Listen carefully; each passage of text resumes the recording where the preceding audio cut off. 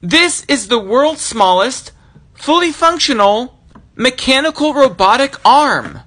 Mechanical arms are used in industry for a wide variety of tasks, such as welding, painting, lifting, twisting, and building. Look how small this thing is. It fits right on the desk. What's interesting about a mechanical arm is that you're able to change the different tools at the very top to have it do a wide variety of different tasks. The most common one you'll probably see is a grabber tool. It looks kind of like a claw. Mechanical arms are amazing because you're able to delegate difficult repetitive tasks to a robot. They're a lot stronger and a lot more efficient than a human being. And they don't get bored at work. So next time your boss asks you to do some work, just say that I'm going to delegate it to my robotic arm.